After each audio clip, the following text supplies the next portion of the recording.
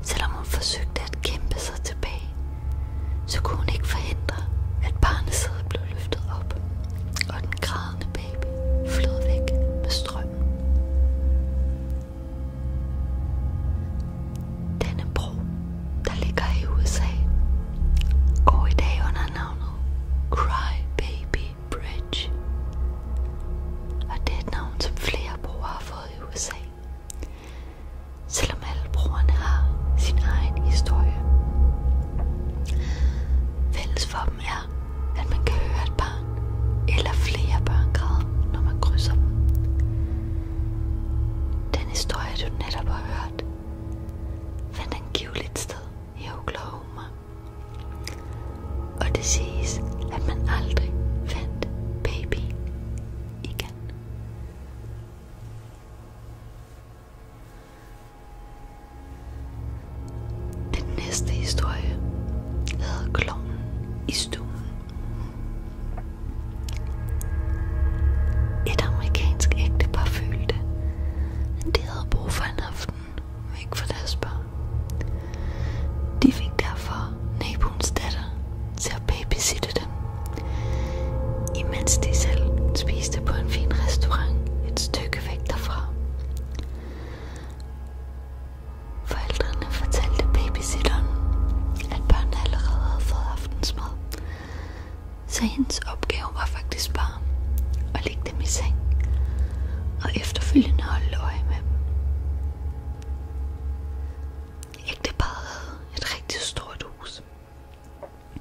Og da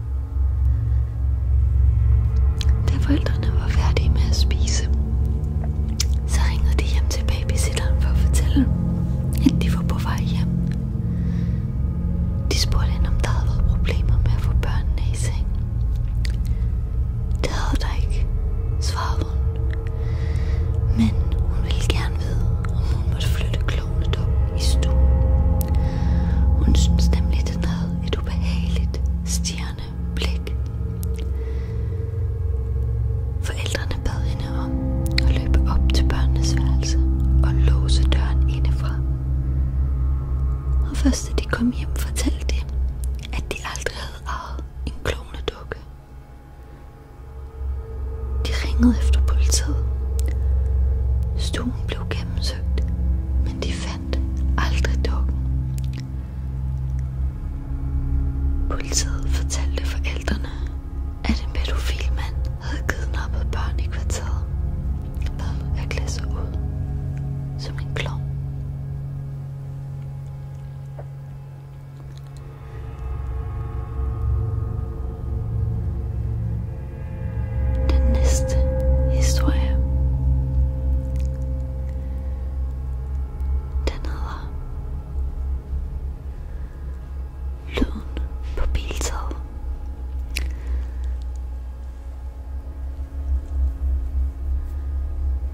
Nistin.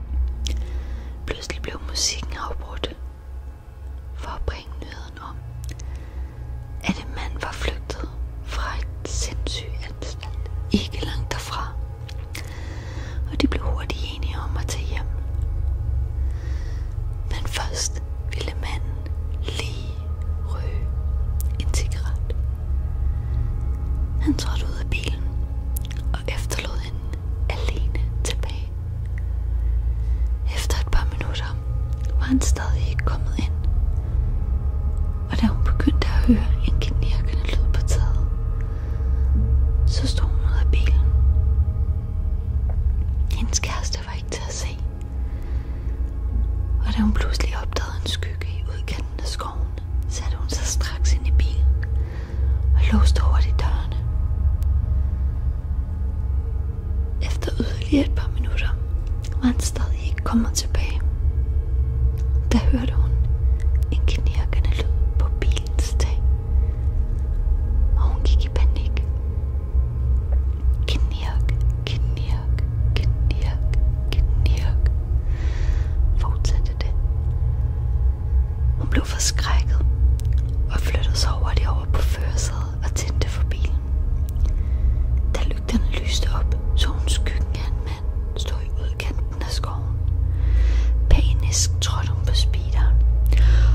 Stående kørte et par meter frem, opdagede hun, at hendes kæreste havde stået på bilens tag med en lykke om halsen. Den knirkende lyd havde været kæresten.